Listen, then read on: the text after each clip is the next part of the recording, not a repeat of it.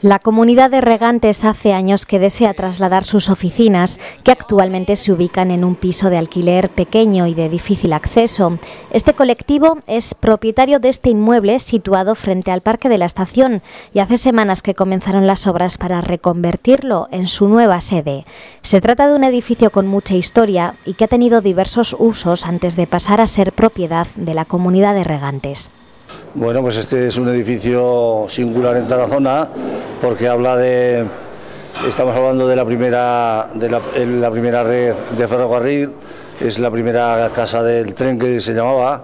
y esto estuvo pues, exactamente no sé hasta pero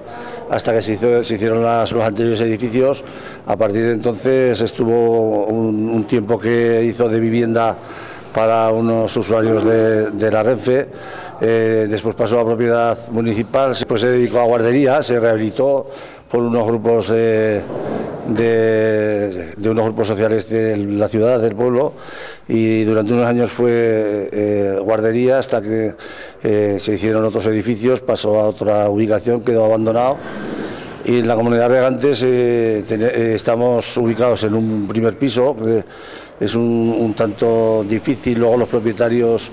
nos habían indicado que querían recuperar el piso y entre que no era lo más adecuado para nosotros y que había otras alternativas desde la, Asamblea General primero con unas propuestas y después la Junta de Gobierno de la Comunidad de antes después hemos, eh, hemos empezado a hacer gestiones y las gestiones pues están dando este fruto que es la rehabilitación del edificio, un edificio singular, diferente, en un, emplazado en un punto muy céntrico y muy peculiar de, de la ciudad que mm, va a cumplir una, una, serie, bajo mi punto de vista, de, de misiones, que es la eh, ubicación de la comunidad de regantes del, del servicio, que es un, adecuado a, lo que se pretende, y además eh, el, rehabilitar un edificio en el centro que le va a dar cierta prestancia a la ciudad y sobre todo al sector, al sector agrario que buena falta nos hace. El plazo de ejecución de los trabajos es de seis meses, así que se prevé que para agosto estarán terminadas las obras. Cuando finalicen, la planta baja se destinará a oficinas y en el primer piso se ubicará una gran sala de reuniones. La fachada se va, a conservar, eh, se va a limpiar, se va, se va a pintar y, adentro va a haber una serie de oficinas, se van a dedicar a, la comunidad de regantes y mm, por nuestra parte se la hemos ofrecido y por parte del Ayuntamiento a Confederación para que ubique aquí algún, algún servicio de los que suele estar dando por la comarca. Y en la parte, eso en la, en la planta primera, en la, en la parte baja, en la planta primera arriba, pues se va a hacer un salón un salón de actos, por llamarlo de alguna manera, o un salón de reuniones que tiene una capacidad importante, que a lo mejor para 200 personas, donde en principio pensamos eh, celebrar las juntas generales, las reuniones que correspondan y que, y que sean necesarias.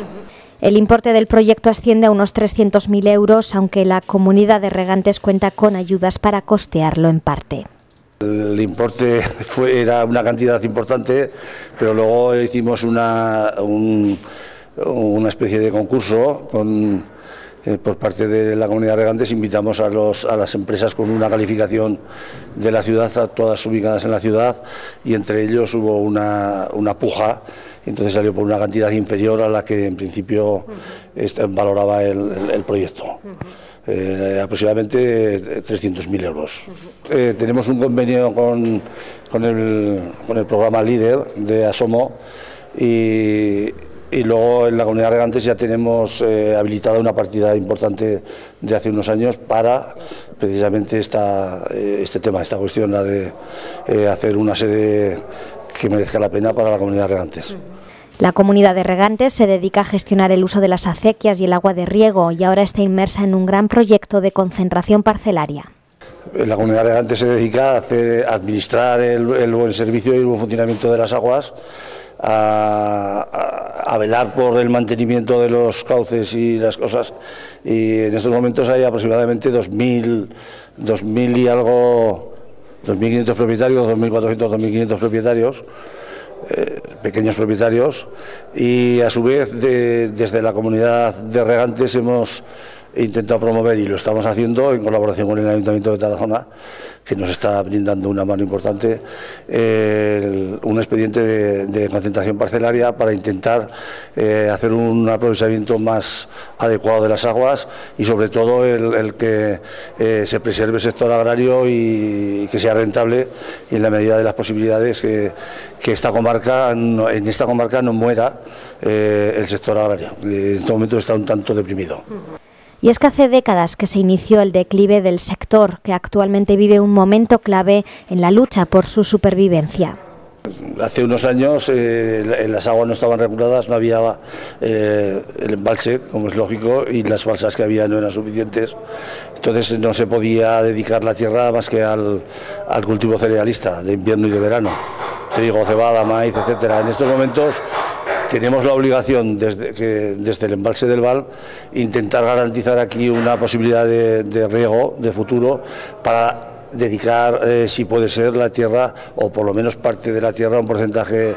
eh, importante de la tierra, a otros cultivos que son más, más sociales que, eh, y, que llevan, y que llevan apañado y, y, dentro de sí valores añadidos que son lo que verdaderamente generan trabajo y riqueza y ahí estamos. Es que este es un momento, este es un momento bajo mi punto de vista, crucial para el sector y para la defensa de los derechos de agua, de riegos, etcétera. Son momentos, en estos momentos, a nosotros, a la Junta de Gobierno de la Comunidad de Regantes actual, nos está tocando vivir unos, unos momentos y unas situaciones un tanto complicadas, complejas, pero eh, yo creo que si somos eh, razonables y, hacemos las cosas como corresponden, se conseguirá que esto, eh, que se consoliden los derechos, que se haga la concentración, parcelaria, que se rentabilicen las tierras y que, el sector agrario en Tarazona como mínimo no vaya para abajo, no se deprima más, sino que empiece a rebrotar y a empezar a, crecer, en definitiva. Quiero desde aquí también, aprovechando esta, agradeceros a vosotros esta oportunidad que dais y agradecer, agradecer y animar a los agricultores, a la cooperativa y a todos los agricultores que están inmersos en ella para que esto que se ha iniciado ahora no lo dejen parar y que lo, que lo vayan potenciando. Y, y también debo de agradecer al ayuntamiento que por parte de todos los miembros que están relacionados con el sector agrario o con la parcela de agricultura en el ayuntamiento están colaborando eh, al máximo. Desde el alcalde, Luis José Arrechea, José Luis de los Reyes, etcétera. El ayuntamiento estamos con ellos encantados. Es un placer. La comunidad de regantes seguirá trabajando para asegurar la pervivencia del sector agrario y seguro que las nuevas oficinas contribuirán a facilitar su labor.